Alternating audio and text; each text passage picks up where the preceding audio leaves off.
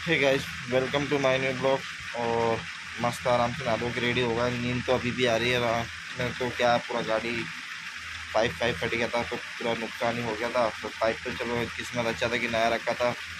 डाल दिया था आयल भी रखा था। फिर रात में क्या हुआ?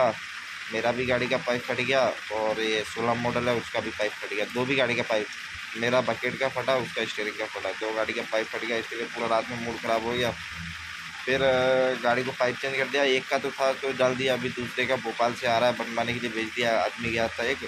उसी को दे दिया था मैंने। यार भाई तुम बनवा, क्योंकि वो एक्सावेटर का बनवाने के लिए गया था तो मैंने, यार, हमारा भी ले जाओ, जो पैसा हुआ डालते हैं वो लेके गया बनाने के लिए और बाकी तो चल रहा है। आ पाएगा।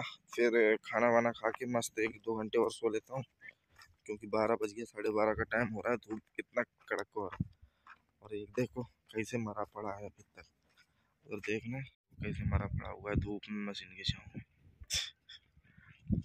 फिर देखो। चार्जर निकालना है यार मेरे को। चार्जर चार्जर राजा आजा, राजा। चार्जर के लिए आया रूम से। क्या उधर कूलर चल रहा है? जब माहौल रहता है और टीन सेट है तो उतना गर्म भी नहीं होता और टीन सेट अलग ही टाइप का जो गर्म नहीं होता। बाज़ार गए थे, मस्त भिंडी लेके आ गए और अपना खाना वाना बना रहे हैं, मस्त। बड़ी कढ़ाई लेके आना, भगवानी मत लाना। और साइड पे अभी गाड़ी चालू होने का पाँच बज गया, अभी तो धूप भी है, मगर अपना भिंडी वगैरह सब काट पीट के सब रेडी है। खाना बनाते हैं, फटाफट रेडी होते हैं, फिर चालू करेंगे, क्योंकि फिर रात में मुश्किल हो जाता है खाना बनाने के लिए। देखते हैं कैसा बनता है सब्ज़ी।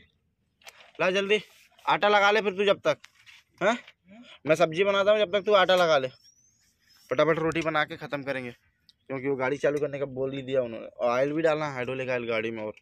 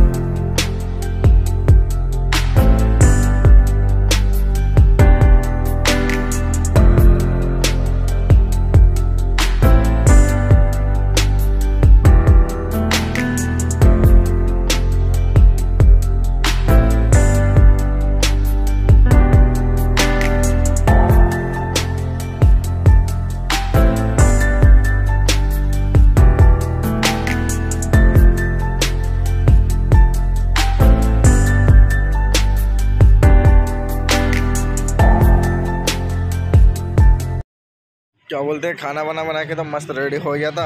और अभी आया हूँ मैं लटेरी, अपना साइड से कम से कम नहीं तो एक तीस किलोमीटर आया है।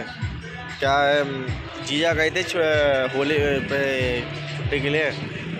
इसकी वजह से खाना वाना बना के तो मस्त एकदम रेडी हो गया। और आराम से लटेरी आया हूँ यहाँ पे सिटी में। मशीन में अभी तो साइड पे एक ब्रेक ब्रेक डाउन क्या मतलब रोक के रखा हुआ है, क्योंकि मैं तो इधर आया हुआ हूँ, इसीलिए बंद है। एक ऑपरेटर आया है। उसको लेने के लिए आया हूँ, वो रिलेशन का ही आदमी है अपना। और देखो, आने का है दस दस, एक मिनट में मेरे ख्याल से, क्योंकि पंद्रह किलोमीटर है। क्या हुआ जहाँ से इन्हों, जहाँ पे उतरा ना गुना से आने के बाद, वहाँ से क्या है, फिर बस नहीं है नजीराबाद के लिए। नजीराबाद से बस नहीं है इसके लिए, फिर लटेरी पास में था, उनको पंद्रह किलोमीटर। मैं बोला, ठीक है, तुम लटेरी आ जाओ लटेरी में तुम्हारे को टू व्हीलर से लेने के लिए आ जाएगा। फिर मैं क्या है कंपनी का टू व्हीलर लेके आया, और अभी इधर ही खड़ा हूँ आराम से। देखो मेरे ख्याल से दस मिनट बोल रहा है लोकेशन भेज दिया एक सात किलोमीटर और बच्चा है। और एक मशीन तो चल रहा था साइड में अभी एक एक मेरा जो मैं चला रहा था वो खड़ा है क्योंकि मैं तो इस, इसलिए चला रहा है कि आप ऑपरेटर नहीं है इसकी वजह से मैं ठीक है चला रहा हूँ बोल के। और बाकी तो अभी तो बाज़ार में ही खड़ा हूँ वेट कर रहा हूँ। टाइम भी काफ़ी हो गया यार साढ़े दस बजे साढ़े दस बज गया। और मैं क्या, इनको बोला भी था मैंने, यार, एक काम करो, तुम ग्वालियर से सीधा ट्रेन पकड़ना और भोपाल आके उतरोगे, चार बजे तक उतर जाओगे, चार बजे से सात बजे तक लास्ट बस है। मगर इन्होंने बोला, नहीं, मैं तो बस से आ रहा हूँ, मैं, ठीक है, अच्छी बात है, बस से आ रहा हूँ, तुम्हारी मर्ज़ी जैसे आ रहा है, वैसा। अब मेरे को परेशान करवा दिया और गाड़ी का घंटा कम हो रहा है, वो अलग है। तो गाड़ी खड़ा हुआ है उधर। देखते कितना टाइम लगता है आने में। उसके बाद सीधा निकलता हूँ साइड के लिए। खाना भी मैं बना के रखे आया हूँ, खाली अभी कसम से खाया भी नहीं हूँ। मैं ठीक है, लेके आता हूँ, जब भी खाऊँगा यार।